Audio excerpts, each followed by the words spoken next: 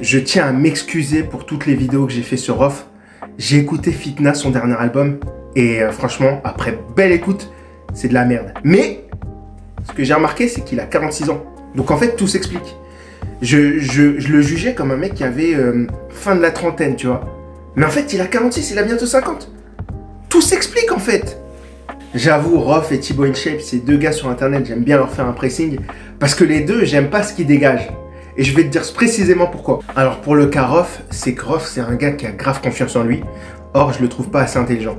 Et le mélange de confiance en soi extrême et euh, confiance en ce qu'il dit, ce qu'il croit, ce qu'il propage, et le fait qu'il est pas intelligent, ça fait que je le méprise immédiatement. Parce que ce mec, il peut se battre pour, comment je le vois, c'est que c'est un mec qui peut se battre pour argumenter que 2 plus 2, ça fait 5.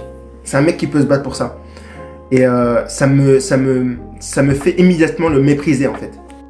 Alors pour le cas Thibaut InShape, c'est que je pense que c'est un putain de faux cul, le gars, en fait. Je pense qu'il est, il est faux cul à mort. Et en fait, tu sais, on, le, on le, sait qu'il est droitard, il l'a même dit dans une interview récente. Et en fait, et on a vu les blagues qu'il faisait avant, tu vois. Et en fait, tu vois, il y a deux solutions. Tu vois, j'ai un peu plus de respect pour des gars comme Zemmour, Bassem et tout, parce que eux, au moins, c'est des racistes de ouf, hein.